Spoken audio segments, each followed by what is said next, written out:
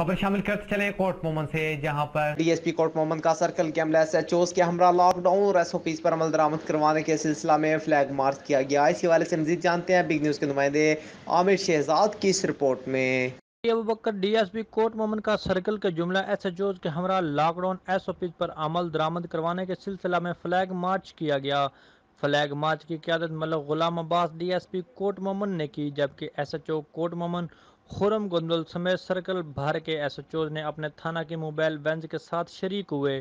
थाना कोट मोहम्मद से शुरू होने वाला फ्लैग मार्च, थाना चौक, एमसी चौक, फुआरा चौक, मिगी चौक, बलवार रोड बाईपास से होता हुआ सालम रोड मिड मोड़ पर जा पहुँचा।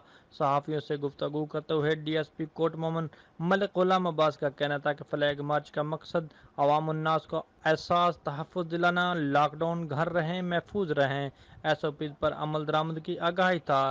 कोट मोहम्मद सर्कल में पुलिस एक्टिव है। कैमरा टीम के साथ आमिर शहजाद, बिग न्यूज़, कोट मोमन।